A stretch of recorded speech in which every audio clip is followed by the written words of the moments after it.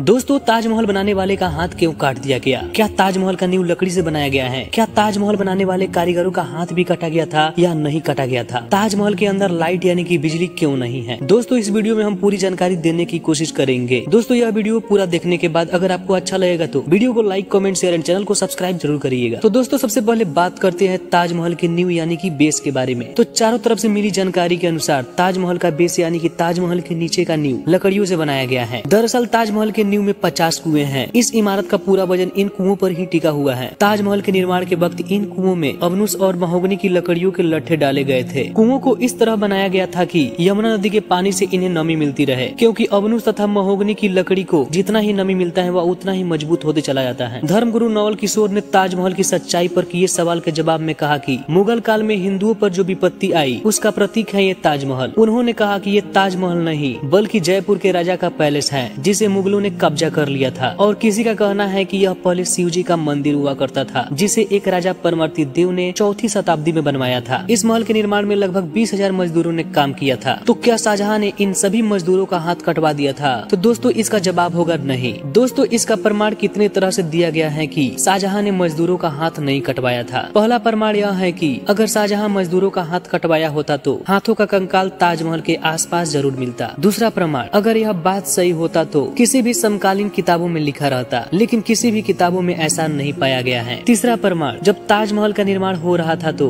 उस समय मुगल साम्राज्य का स्वर्ण काल चल रहा था। तो दोस्तों, आप लोगों को तो मालूम ही होगा कि, ताजमहल के निर्माण के बाद शाहजहां ने मोती मस्जिद, लाल किला तथा जमा मस्जिद का निर्माण करवाया। तो जरा सोचिए दोस्तों, अगर शाहजहां ने ताजमहल बनाने वाले मजदूरों का हाथ कटवा दिया होता तो क्या कोई मजदूर इन किलों में मोती मस्जिद तथा लाल किला जैसे इमारतों में काम करता? कभी नहीं करता। दोस्तों, इन सब बातों से यह साफ़ ज़ाहिर होता है कि ताजमहल बनाने वाले कारीगरों का हाथ नहीं काटा गया था। दोस्तों, इस वीडियो के बारे में आपको क्या कहना है, मुझे कॉमेंट के माध्यम ऐसी ज़रूर बताए। और हाँ वीडियो पसंद आया हो तो वीडियो को like, comment, share and channel को सब्सक्राइब करके ज़रूर जाए।